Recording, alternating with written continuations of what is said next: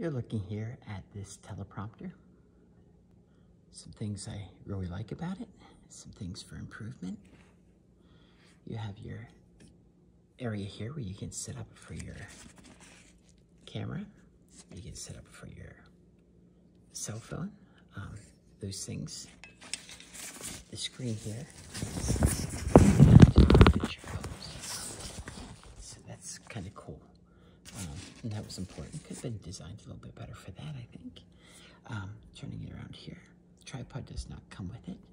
Um, you have your big screen up here. Um, it has a zip feature here. I, I, couldn't really find a way to get this to all sit really nice on there. Um, they have screws here, but they have also, um, coming up here, you have you have the bolts. I wish that this would have like went down in there and I could like bolted this one piece on and kind of make it more of a permanent fixture. Um, but it does kind of go around. It It's satisfactory. I would liked something, and it doesn't fall off, but um, you know, if you're carrying it, you know, then it might might drop, and it, it dropped once for me. It's pretty durable though. Um, your actual screen here, I'm just using a very small tablet. Can see this can go for bigger tablets as well. Maybe, yeah, and I, I think it's definitely more than adequate for most tablet size. You see it up here. Whoops, let me get that back up there to the, it has a great reflective quality here. Um, I want you to see that as well. Putting it on, just show you. And that's on a small tablet, so I think that's really cool. Very legible as well.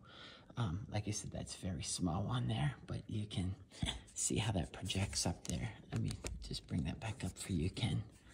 Take another look at that. Um, eh, turning on my small tablet here. Like I said, if you have a 10-inch tablet, I think that would probably be most ideal for this, um, which is your pull.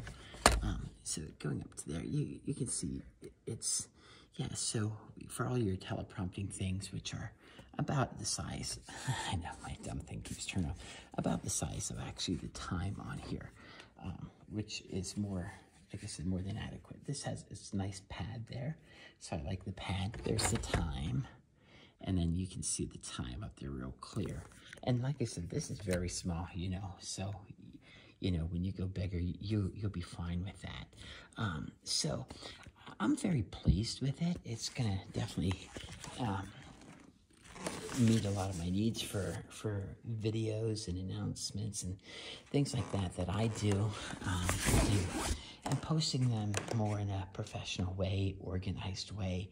A lot of you know sometimes if you post things on on on the major social networks, you kind of do it off the cuff and you're always like, man, I forgot that one thing. So I'm to the point now where um, to do it in a hidden way, a discreet way, through a teleprompter is, is a really cool way for me to make accurate announcements. And this is going to definitely serve the purpose of doing that.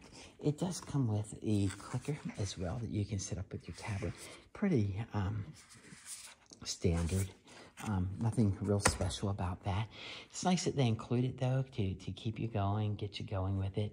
Um, so I just wanted to show it to you, describe it for you. That's my experience with it. Um, I've used it now a number of times and uh, just really, really had a good time with it. I, I, would say maybe one of the things that I would have liked to see back here is like a different mount as well for like a, a cell phone mount um, to make it a little easier at times. That's probably my only recommendation to include uh, something like that because so much recording anymore is done through um, cell phones instead of the old cameras and um, uh, camcorder type things. So, all right, there it is. I like the teleprompter though and use it and it meets my needs.